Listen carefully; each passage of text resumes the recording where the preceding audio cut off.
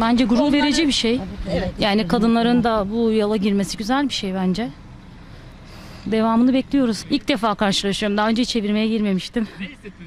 Biraz panikledim daha doğrusu. Kadın olduğunu görünce Biraz daha rahattım.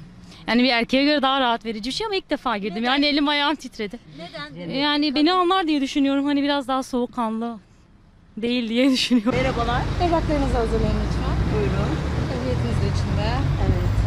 Çok memnun oldum yani. Böyle e, artık kadınlarımız her yerde olmalı. Memnun Daha oldum. önce rastlamış mıydın? Hayır şaşırdım zaten. Öncelikle e, diğer memur arkadaşımıza uzatmak istedim. Arkadaş, bayan arkadaş ilgilenecek dedi. Çok sevindim. Güzel bir duygu. Her zaman kadınlar zaten önde olmalı. Her zaman. Emniyet kemeri kullandığınız için teşekkür ederiz. Teşekkürler. Buyurun, devam Çok sağ olun.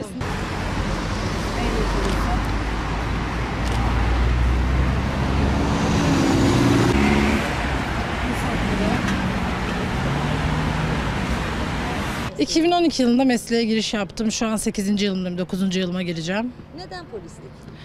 Ya benim idolüm en küçük, yani küçüklüğümden beri babamdı. Kendisi polis memuru ve gazi, terör gazisi kendisi. Adana'da bir e, operasyonda gazi oldu. Şu an hala sol kısmında bazı sıkıntıları var.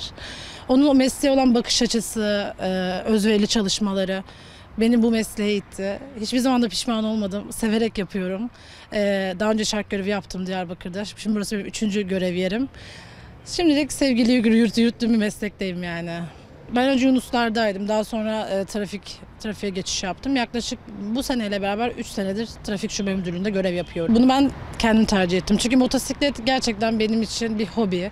E, çok severek yapıyorum e, motosiklet kullanımını. Aynı zamanda da ben tüm kadınların e, hayatın her alanında ön planda olmasını destekleyen bir kadın olarak e, dedim ki neden bir kadın polis memuru kavşakta kavşak çekmesin ya da bir araç durdurup bir ruhsat ehliyet kontrolü neden yapmasın.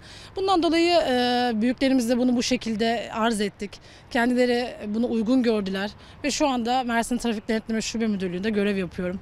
Dediğim gibi özverili bir çalışmayla, memnuniyetle. Şu anda Mersin Trafik Denetleme Şube Müdürlüğü'nde motorize trafikte tek başıma, e, tek kadın olarak görev yapıyorum gururla.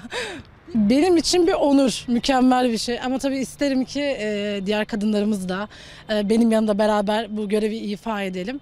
Benim için çok gurur verici bir durum. Şu an için tekim, devamı inşallah gelir.